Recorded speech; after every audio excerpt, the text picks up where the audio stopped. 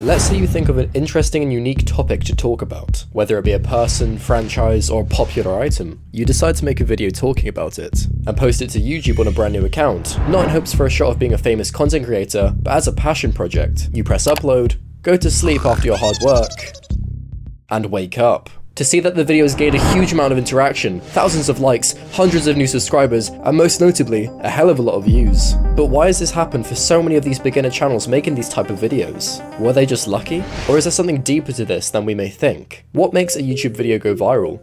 And why does this new format of entertaining documentaries perform so well in the algorithm? You may think it relies on a consistently active channel posting every day and reminding their audience to like and subscribe, encouraging the algorithm to push the content into other viewers' feeds. However, this was a typical strategy used by the masses in the early days of YouTube, as back then not many creators took into consideration that the watch time, viewer retention, and a catchy thumbnail and title equate to a strong performance. Fast forwarding through YouTube's eras such as Let's Plays, parody songs, vlogs, and more noticeably, challenge videos. You'll notice that the platform relies on trends and popular topics that achieve virality amongst other creators. And I think it is really interesting to watch like that, like the evolution of people's I guess brands because these are basically brands, right?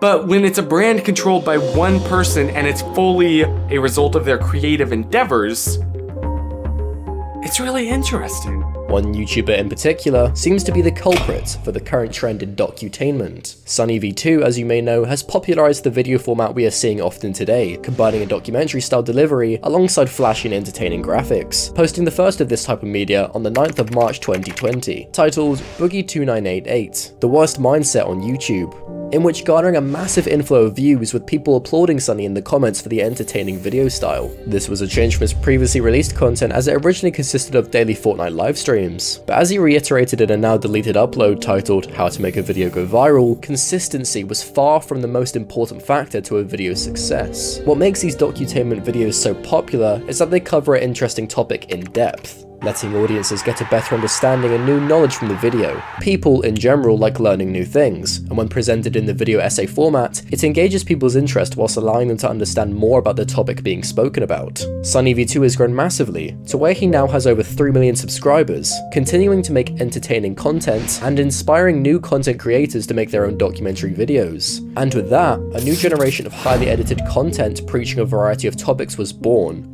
having creators discuss all forms of media, whether it be how the pilot of Smiling Friends is considered perfect, or even a deep dive into the vast library of games Steam has with zero active players. A few existing content creators seem to have taken advantage of the new format of video essay, such as Patrick CC, shifting his content to document topics about previous figures in media.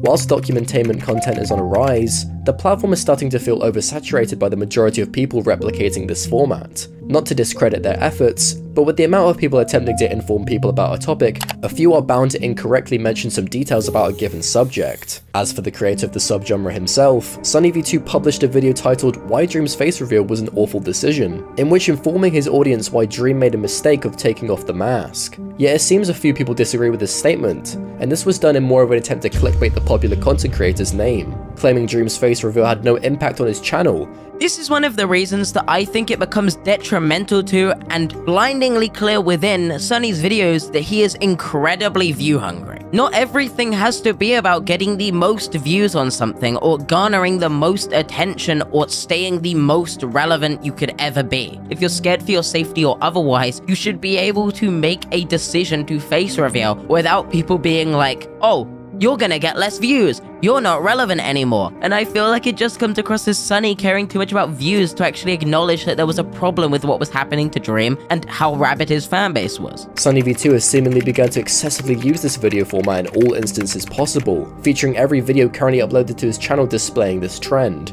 including some uploads that begin to make the documentainment genre seem more of a joke, rather than an intriguing and informative video essay. Failed franchises, bankruptcies, and almost no growth in revenue for the last 10 years. This is the sad reality for Pizza Hut. People seeming to easily replicate this form of content goes to show with hard work and research, can lead to another channel for a viewer to look out for when deciding what to watch with their dinner. I say this with full belief as I myself have created a documentary about the content creator Tumad, which has provided me a wave of new subscribers as well as an outstanding amount of support. Some creators are bound to bask in their success, becoming well established channels for future generations to enjoy, and some will be forgotten or abandoned with little content to their name. The future of YouTube is yet to be seen with new CEO Neal Mohan controlling the reins, known for implementing the idea of NFTs supposedly expanding the YouTube ecosystem, which as of 2023 still seems it would have been a bad idea as the whole of online financing such as cryptocurrency has gradually decreased in popularity and value. For the minute however, I'm to continue enjoying these small content creators produce unique video ideas, and let time tell us about the YouTube content creation journey ahead. If you've liked this video documentary about video documentaries, be sure to like the video, and make sure to subscribe for more content in the future. Take care and peace.